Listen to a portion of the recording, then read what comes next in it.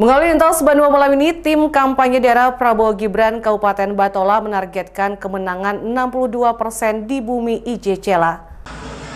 Sebagai upaya meraih kemenangan di bumi Selidah, Kabupaten Barito Kuala, Batola, Provinsi Kalimantan Selatan, tim kampanye daerah TKD pasangan calon presiden dan calon wakil presiden Prabowo Gibran Barito Kuala menggelar rapat konsolidasi bersama Ketua Partai Koalisi Indonesia Maju Rabu 13 Desember 2023. Rapat konsolidasi itu dihadiri Ketua TKD Provinsi Kalsel Dr. Sulaiman Umar, Pembina TKD Provinsi Kalsel Haji Sabirinor, Dewan Pakar TKD Provinsi Kalsel Supian Haka, Sekretaris TKD Provinsi Kalsel M. Alpia Rahman, serta Bendahara TKD Provinsi Kalsel Hajah Mariana, bertempat di Aula Bulu Tangkis Abah Handil Bakti. Ketua TKD Prabowo Gibran Kabupaten Batola Haji Rahmadianor mengatakan, Sejak diemban tugas sebagai Ketua TKD Batola, langsung memerintahkan kepada kader partai yang tergabung dalam Koalisi Indonesia Maju untuk mengkonsolidasikan pasangan Prabowo Gibran sebagai Capres-Cawapres di pemilu 2024. Pada hari ini kita melaksanakan kampanye perdana untuk Kabupaten Barito Kuala